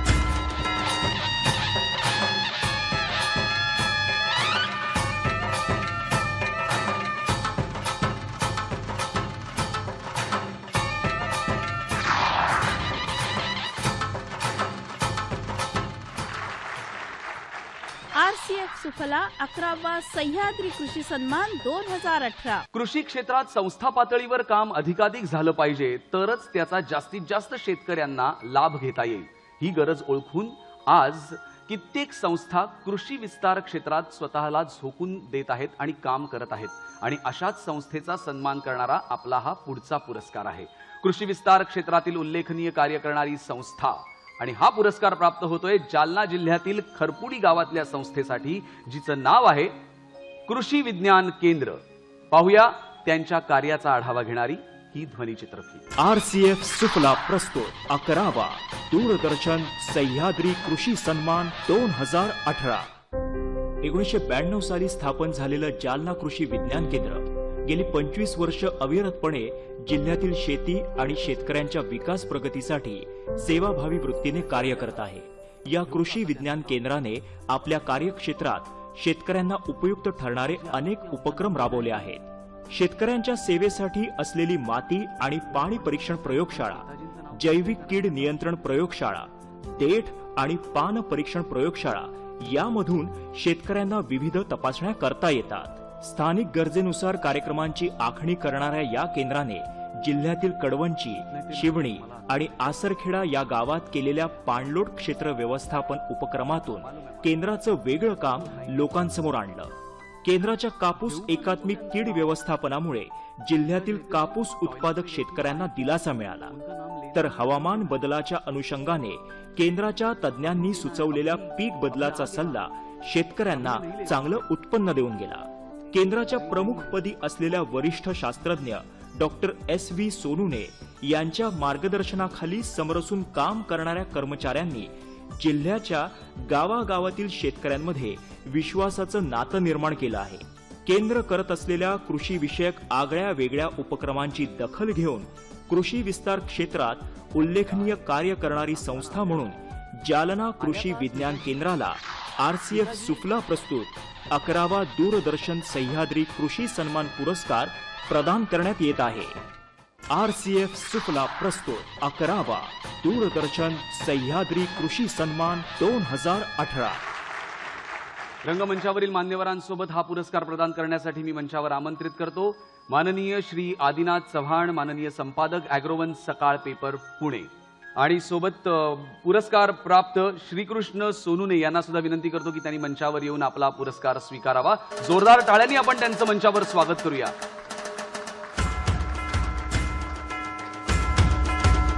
माननीय राज्यपाल यांना विनंती करतो की शाल श्रीफळ आणि सन्मान चिन्ह देऊन त्यांनी श्रीकृष्णजी यांचा गौरव करावा.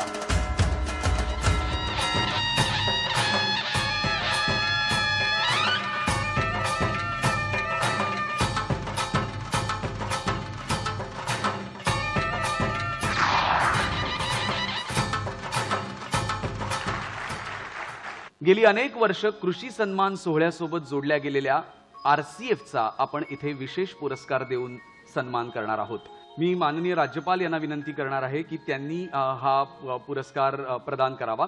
आरसीएफ विपणन विभागाच्या माध्यमातून अनेक शेतीविषयक कार्यक्रम आणि योजना शेतकऱ्यांसाठी राबवल्या जात असतात.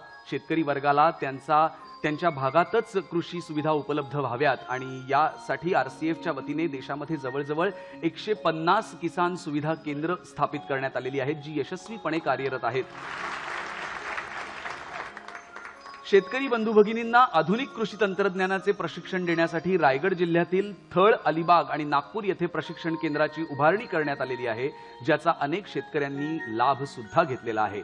अशा अनेक विविध योजना राबवून शेतकऱ्यांच्या हितासाठी राबणारी संस्था म्हणून त्यांचा विशेष सन्मान आपण करणार आहोत.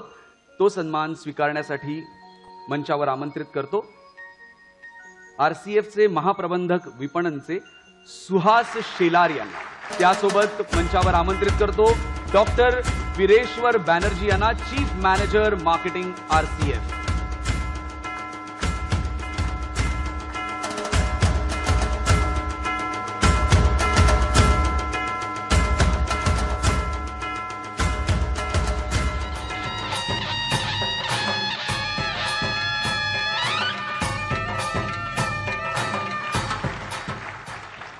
विटा हवेमध्ये उडायला लागला की कशाची आठवण होते? काय अहो ढोलकीची थाप ऐकल्यावर कशाची आठवण होते? हा घुंगरांचा नाद आणि ढोलकीवरची थाप. चला तर पाहायलाच हवी फक्कड अशी एक लावणी.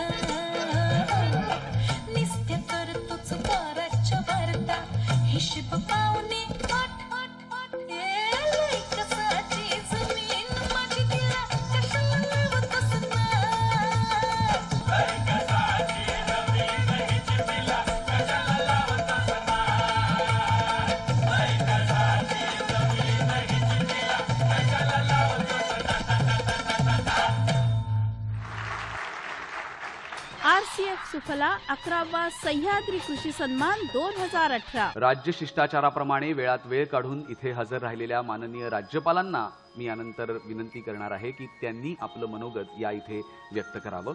Shri Mahadev Jankar honourable minister for animal husbandry dairy development and fisheries Shri M S Thomas additional director general Doordarshan Mumbai All distinguished members of uh, selection jury, celebrities and artists.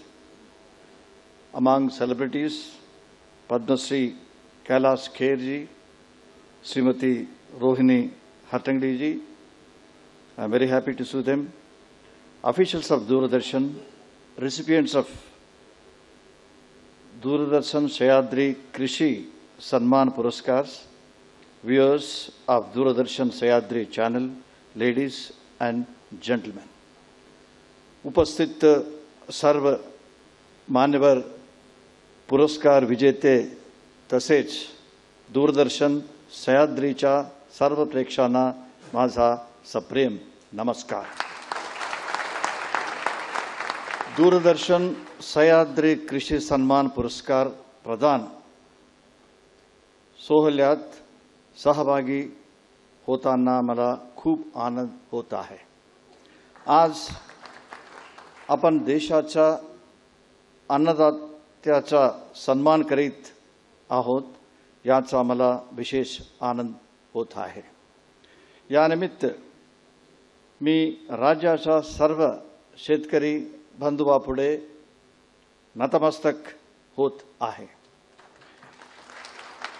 येथे उपस्थित सर्व पुरस्कार विजेत्या प्रगतीशील शेतकऱ्यांचे मी मनपूर्वक अभिनंदन करतो at the outset I congratulate Doordarshan Kendra Mumbai for instituting the Sayadri Krishi Sanman Puraskars and for making it a tradition to honor excellence in various areas of agriculture for the last 11 years.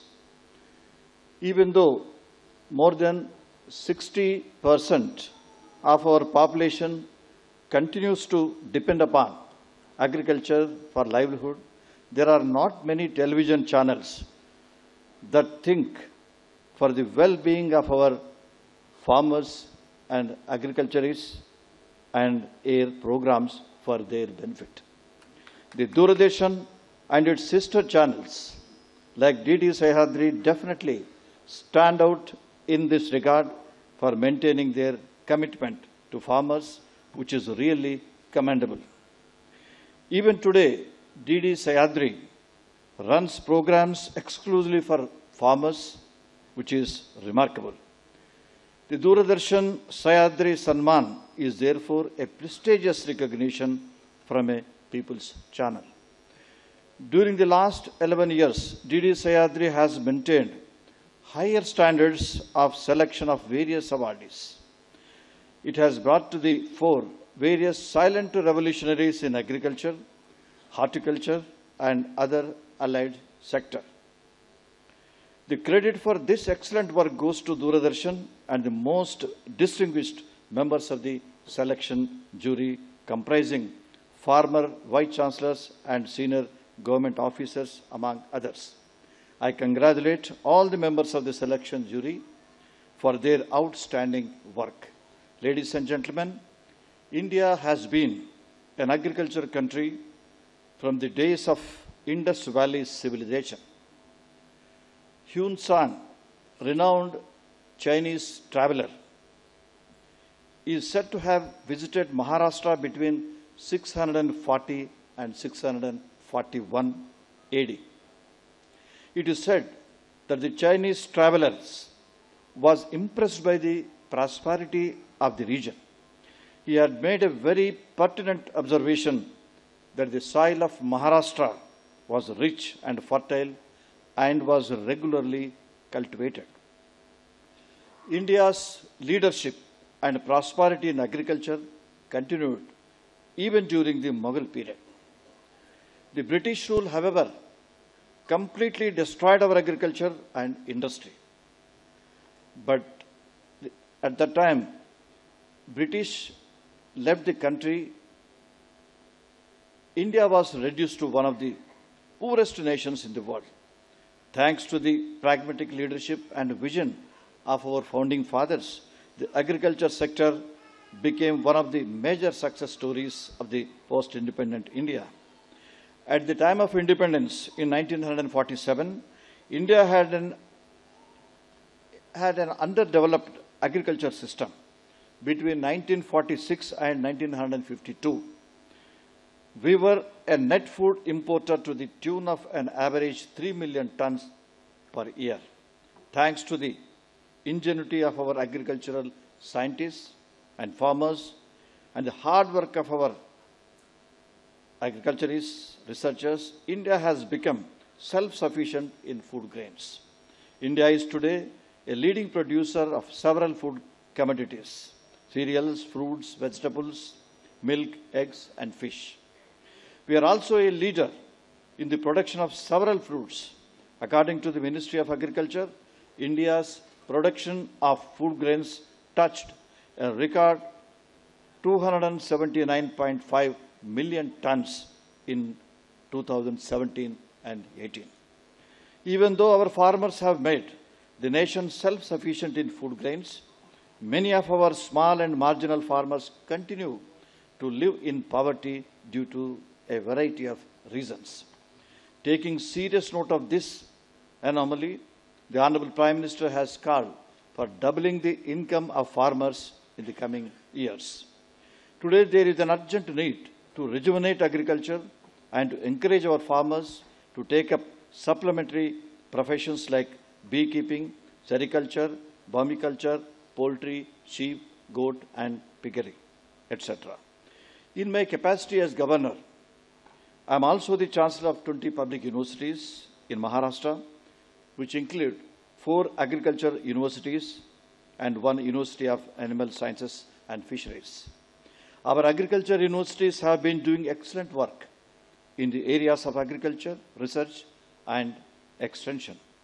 What amazes me is that our farmers, many of whom never had the opportunity to attend agricultural college or universities, are greatest of innovators themselves.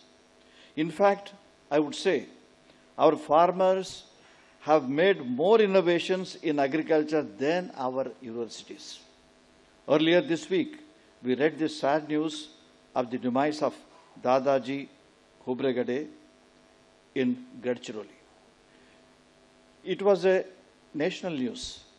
Dadaji Khobregade was a poor farmer with only 1.5 acres of land.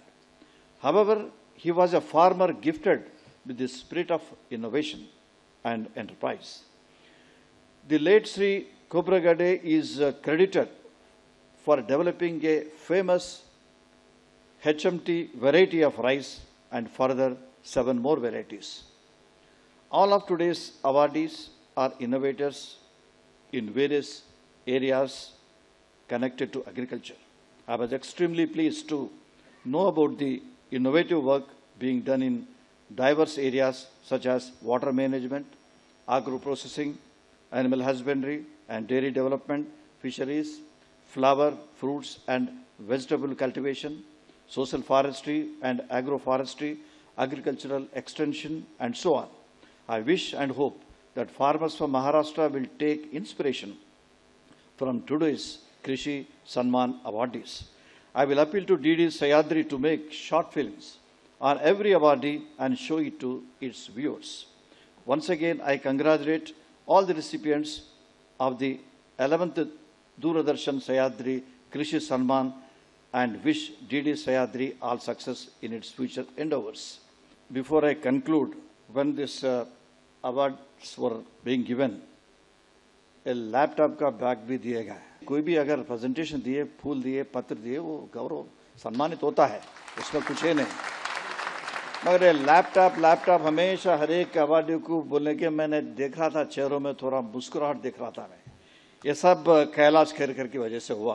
सब लोगों के, सब लोगों को देख रहा था कि थोड़ा बहुत मुस्कुराहट। इसलिए मैं हमारा गवर्नर ऑफ़िस से ये थर्टीन लैपटॉप्स का पैसे मैं थॉमस साहब को देना चाहता हूँ। गवर्नर साहब, गवर्नर को कोई डिस्क्रिप्शन अमाउंट भी रहता है, इसलिए हमें, मैं अरेंज करूँगा थॉमस साहब को। अब थॉमस साहब ने सब लोगों को भेजना चाहिए। ये एक ही बार है बार बार नहीं था I wish all of you a memorable evening. Jai Hind, Jai Maharashtra.